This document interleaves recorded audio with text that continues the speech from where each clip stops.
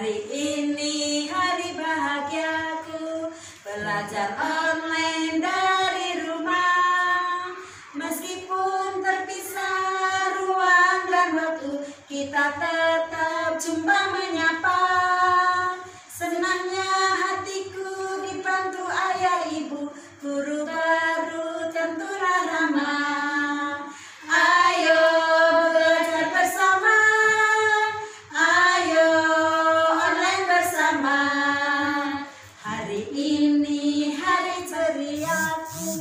Belajar daring dari rumah.